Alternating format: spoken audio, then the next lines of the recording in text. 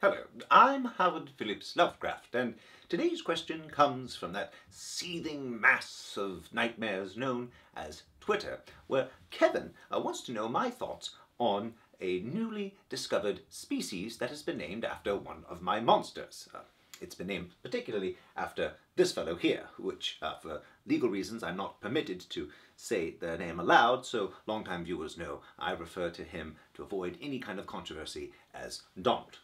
So this, this new creature is the Sollasina donald an echinoderm, a, a sort of sea cucumber that existed millions of years ago and its fossils have been analyzed and now we have this uh, delightful tentacular creature which we can enjoy in all of its rugose splendor.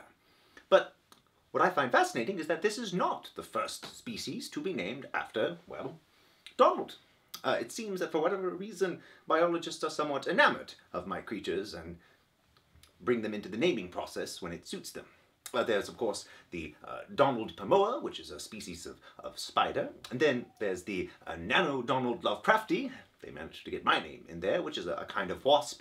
And then my personal favorite, the Donald macrofasciculumque, a very small little creature which exists in the hind gut of termites, helping them digest wood. Now, while this is all very flattering, what I find most fascinating about this entire thing is that well, these names, while they may have been chosen on a whim or as a joke, are, are the official names and will be around for quite some time. Indeed, they may well last beyond my own stories, because while literary fame is fleeting, zoological taxonomy is eternal. But I have to say, if I do have to have some sort of immortality, I could do worse than sea cucumbers. As always, I'm Howard Phillips Lovecraft. Thank you.